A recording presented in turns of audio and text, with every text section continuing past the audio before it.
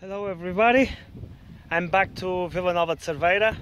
Unfortunately there is no ferry boat, so I have to come all the way from A Guarda to here and then I will have to go to Viana do Castelo, so probably will be around 30 kilometers.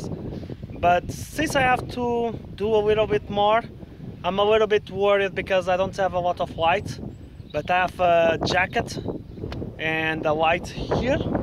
So I hope I think I will enjoy a little bit here, rest at least 10 minutes and then go on the way. My bicycle is just over there and despite all the problems it had been an amazing day. I hope you enjoyed the views. Bye bye!